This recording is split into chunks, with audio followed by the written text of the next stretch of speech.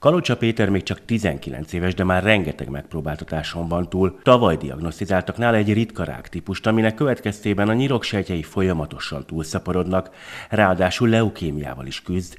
A fiú nem érintkezhet a külvilággal, ezért csak a szüleitől kapott fotókon tudjuk őt megmutatni. Betegsége kizárólag kemoterápiával gyógyítható, melyhez kiegészítésként alternatív gyógymódokat is igénybe vesznek. 80 kemoterápiás infúziós kezelésen van túl, Jelen pillanatban háromféle kemoterápiás tablettát szed, ami ugye nagyon megviseli neki a szervezetét. Az, amit okoz neki az infúziós kezelés kemoterápia gyanánt mellékhatásként, az működik neki most ugye a tablettánál is sajnos. Az elmúlt időszakban rengeteg támogatást kapott a család, de a fiatal férfi küzdelme még nem ért véget, így a segítségre a továbbiakban is szüksége van, hogy a gyógyszereit finanszírozni tudják. Dombováron most kupakgyűjtő szívvel próbálnak segíteni.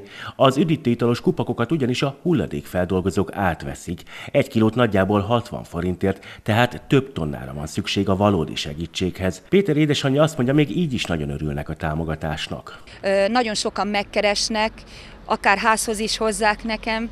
Nagyon sok falu, város támogat minket, nem csak Dombovár ezzel a szívvel, hanem más falvakban is. A kupakgyűjtésen kívül a család szívesen fogad bármilyen más pénzfelajánlást is, amivel Péter gyógyítását tudják finanszírozni.